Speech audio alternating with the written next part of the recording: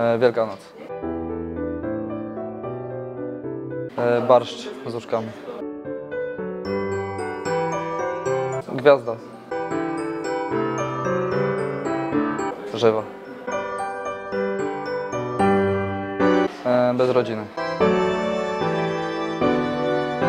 Nie mam jakiegoś swojego ulubionego.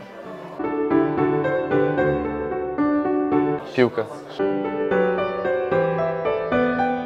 E, Last Christmas. E, jeszcze nie mam planów.